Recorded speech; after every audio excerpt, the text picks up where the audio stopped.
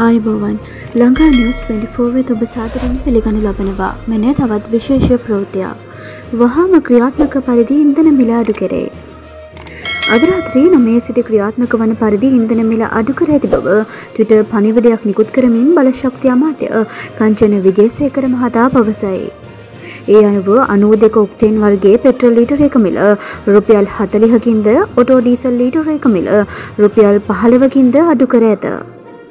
නවමිල සංශෝධනය අනුව ඔක්ටෙන් අනූ දෙක පෙට්‍රල් ලීටරේක මිල රුපියල් තුන්සිය හැත්තෑවක් වන අතර ඔටෝ ඩීස ලිටරේක මිල රුපියල් හාරිසිය පහළවක් වේ.